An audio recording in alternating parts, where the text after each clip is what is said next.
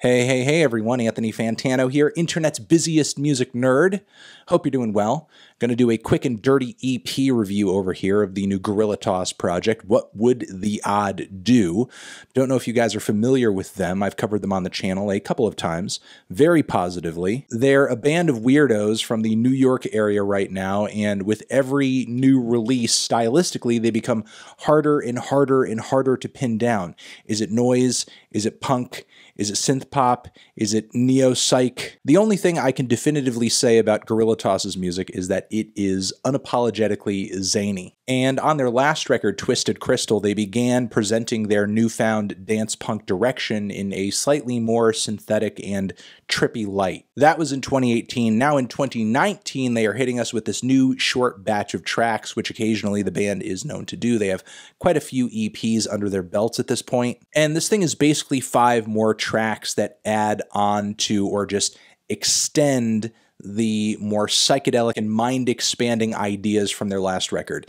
Is this a forecast of what's to come, or are they merely just cleaning house and getting rid of the rest of this stuff before they move on to a new sound. With Guerilla Toss, who the hell knows? To go through these songs, we do have the title track, What Would the Odd Do, which is a bit of a teaser, a taster, a tone setter, spaced out vocals swimming in a sea of what sounds like synths and these very tight, steady string sections. It's very simple, entrancing, lush, layered. On this one, it's like I'm booting my brain up and getting ready to join a hippie cult where we do nothing but take LSD and worship computers. We then have a hard transition into the track Plants, which has a grimy ass bass line. They top these rhythms, they top this bass line with lots of very reverb heavy vocals and synths. It's very blissful through and through. The track moves through a few quality transitions. By the end of it, it feels like I am existing in the middle of a synth heavy shoegaze rave. The only downside to this track is that the vocals are not really all that prominent, and the singing is usually one of the most unique characteristics to Guerilla Toss's sound.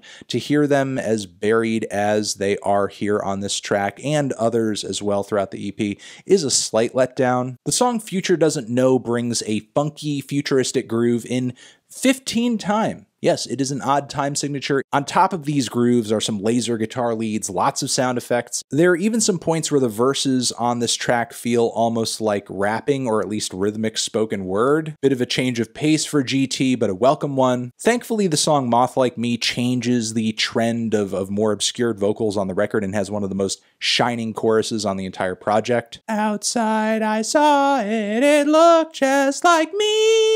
Also, the bass and drums on this track are punchy as hell, the loudest on the entire record. They really want you to feel the groove on this one, and it, it, it is a fast, tense groove. The closing track on this one, Land Where Money's Nightmare Lives, kicks off in, in a much more low key way than every other song. A lot more space between all of the instruments in the mix, more funky drums, some squelchy synths. The bass sounds like it's being fed through an envelope or a filter of some sort, so it's getting that wow, wow, wow, wow sound to it. There's a lot of good ideas on this track. I like how it moves along in a linear fashion. It's just a tad bit washed out, but I guess I'm looking at this as more of a side project, an EP, where the production on the whole is not generally as good as it was on the last record. I don't think this is uh, sound quality wise going to be indicative of Guerilla Toss's uh, direction forward. And still, despite the mix not being the best, I do love how the vocals and those revving synths on the end of this track come together. So overall, this EP, I mean, I loved it. I think it's another good addition to the Guerilla Toss discography. I think there are a lot of great tracks, ideas, sounds, tunes on this one. Not the best production of any Guerilla Toss album, but certainly not the worst, especially when comparing to a lot of the noisier, more abrasive releases in the group's back catalog. Don't know if this is a sound they're going to continue toying with moving forward, but uh, either way, as long as they continue to bring good core ideas at the center of whatever they're doing aesthetically, a Guerilla Toss are going to remain uh, a solid band, even if they uh, continue to be as underappreciated as they are. So, uh, what would the odd do? Transition. Uh, this EP, I loved it. I thought it was great. Make sure you give it a try too, and let me know what you think down in the comments. Anthony Fantano. Over here next to my head is another video that you can check out. Hit that up or the link to subscribe to the channel. Guerilla Toss uh, forever.